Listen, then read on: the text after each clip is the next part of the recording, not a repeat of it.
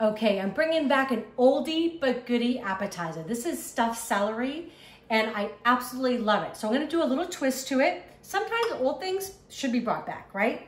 So normally it's done with cream cheese and olives. I'm actually gonna add some feta to this. So I've got eight ounces of feta cheese. Just gonna kind of break it up in there like that. I'm gonna add eight ounces of cream cheese going in.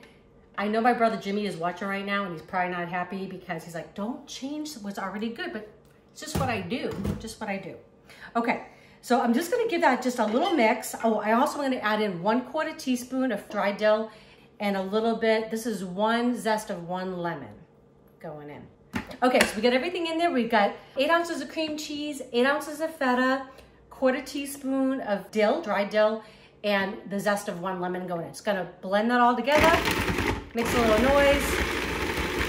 Okay, so I've got everything blended. I'm adding just the juice of half a lemon. Just a little bit in there. And then we're gonna get the olives in. And I'm gonna put it in a bag and we're gonna stuff our celery. This is one cup of the regular Spanish olives with a little pimento in there. Love those. Okay, get it all blended.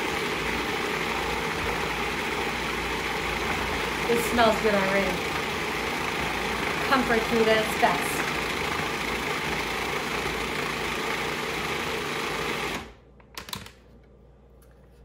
All right, I'm just gonna put this in a piping bag. We're gonna get this in our celery. I'm gonna have ourselves a treat.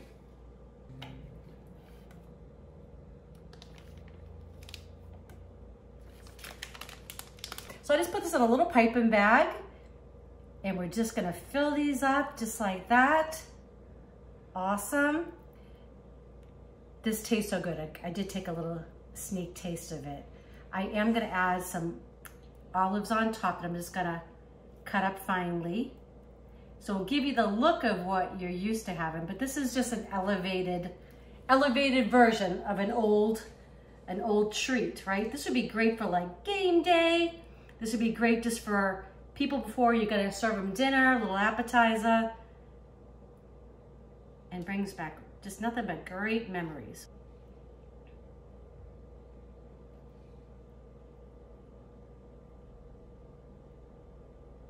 Okay, these look great. I just chopped up a rough chop of some of the same olives. Gonna put them on top. This will give you the look that you're used to, right, with the little green olives in it.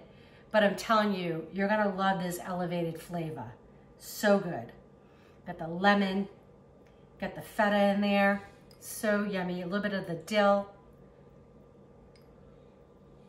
And look at that. Looks beautiful. Whoops. Okay, so a little old school appetizer elevated to something a little bit new. So you saw how easy that was, right? Some cream cheese, some feta, a little bit of lemon juice, and a little bit of lemon zest, some dill, and of course the olives, and a little bit of the olives on top. So yummy. This would be great for after school snack, to serve to your friends, whatever. I'm gonna go in and give it a taste. Mm. Oh my gosh.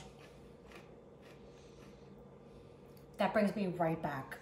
My mom used to have these in the refrigerator and we just grab them, take them out. Of course, we also knew there was probably a party happening if, if we saw these in the fridge.